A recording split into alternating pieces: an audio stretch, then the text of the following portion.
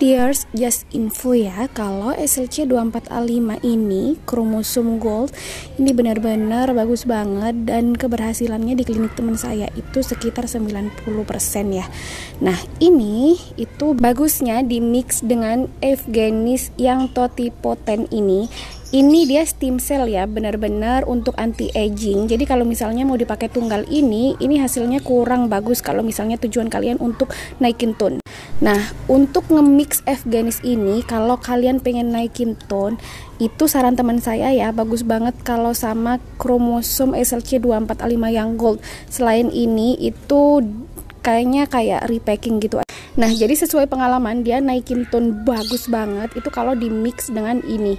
Jadi untuk Evgenis yang totipoten ini di mix sama ini baru hasilnya bagus. Kalau di mix dengan obat murah lebih baik pakai tunggal karena bisa turun tonnya.